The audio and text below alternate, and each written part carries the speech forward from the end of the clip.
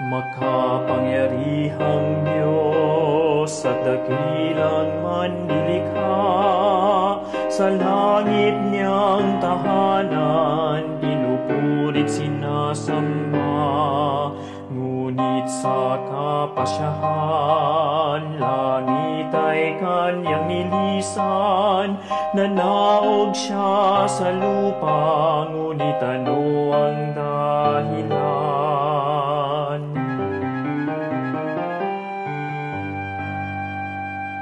Sa tinagdang panahon, isang sanggol ang suminang, ang langit ay nagdiwang, tinanggap ng sanlibutan.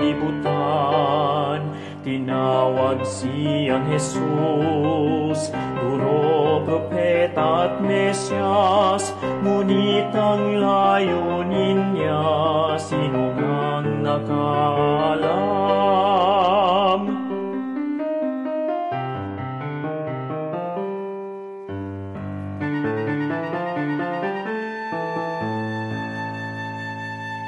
Hanggang sa isang araw, sa krus ay nabayubay, dakilang manlilikha, inialay kanyang buhay.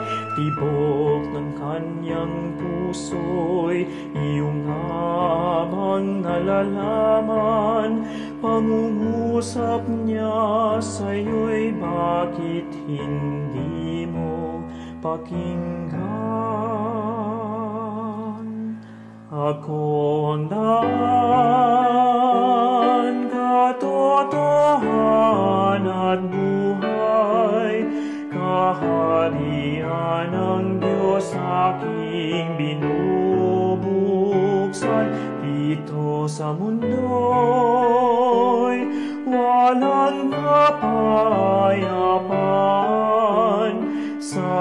langit lang may tunay na kagalakan.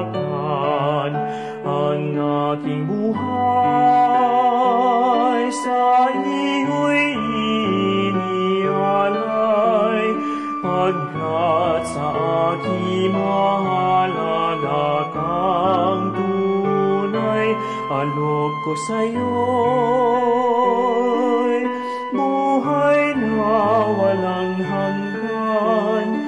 sa buhay mo ako'y aanyayahan,